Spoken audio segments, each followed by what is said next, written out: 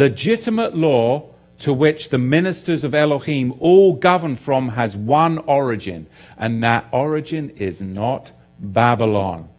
It's not Babylon. Look in James chapter 4, verse 12. There is one lawgiver, and is it the beast? Is it Babylon? Is it the Talmud? There is one lawgiver who is able to save and to destroy. Who art thou that judgest another? Isaiah chapter 3 verse 22.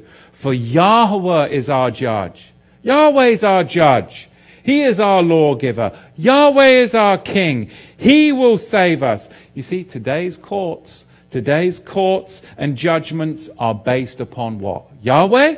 No, secular humanism. Secular humanism, the ever changing morality of man. That's the danger.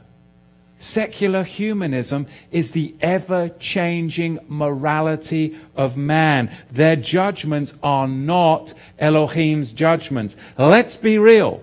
Let's be real. It's just plain blasphemy to talk to call tyrants and oppressors Yahweh's ministers. Really? They're actually the messengers of Satan. Yeah. Sent to buffet and thwart us. Sent to ensnare and entangle us in their jurisdiction. Look at verse 4. A revenger. The word there is ekdikos. It means one who carries justice out. Isaiah 54, um, 45, dyslexic. Only in Yahweh are righteousness and strength. 1 John 2, verse 29. If you know that Yahweh is righteous, you know that everyone that doeth righteousness is born from him. And 1 John chapter 3, verse 10.